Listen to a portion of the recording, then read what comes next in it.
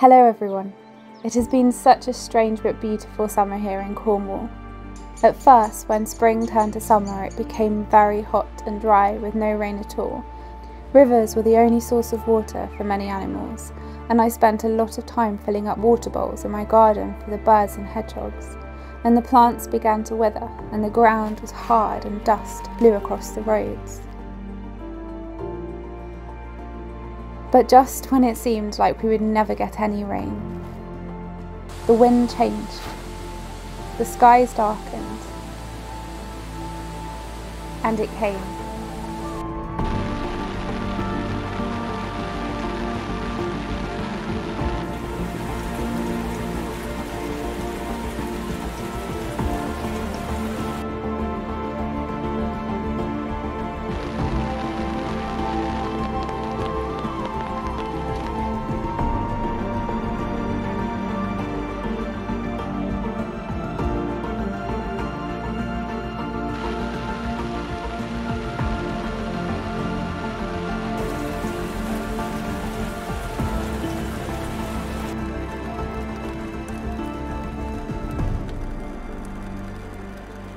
Even when it had stopped raining, it continued to mizzle, and then it would rain again.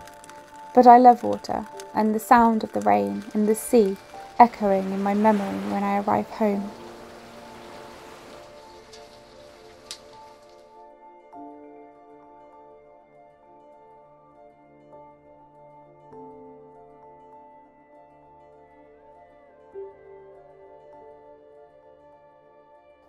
Even in the gloom, there is so much beauty to be found, and with the rain comes growth.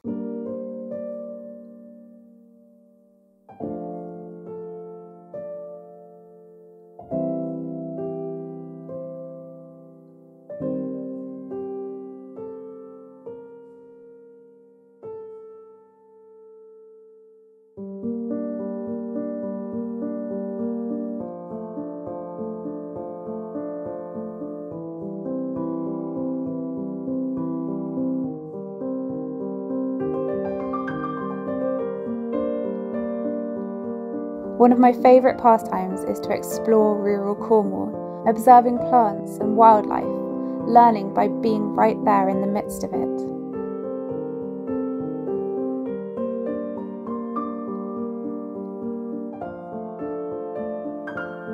I was determined to spend as much time outdoors as possible this summer. The wilder, the better. It's when I feel most alive, closest to nature and creation.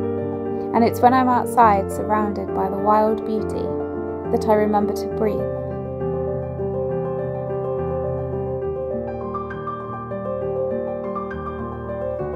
And I never know what I might see.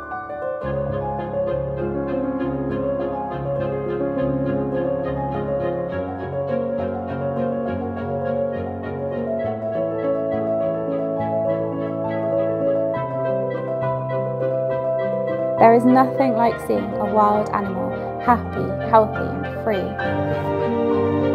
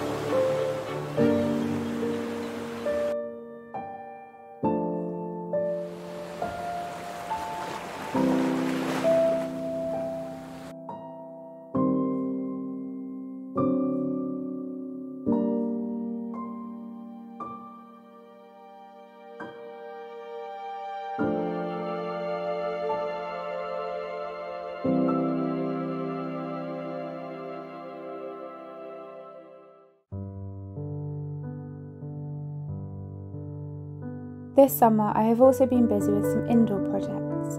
I spent time researching and creating an organic, healthy food mix for my Roborovski hamster Pearl, as I was conscious of the pesticides that are used with crops and wanted something that was free from chemicals as well as rich in nutrients.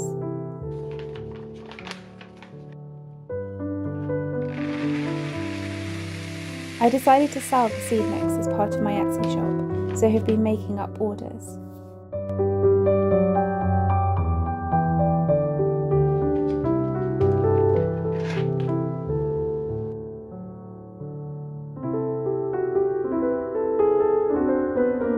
Spend a lot of my time behind a screen, and I have spent the last few years working very hard, travelling for work, and being constantly busy and feeling rushed. I am now making a conscious effort to spend time away from technology, to be outdoors, or to be making something that requires concentration and patience, to be in the moment rather than multitasking.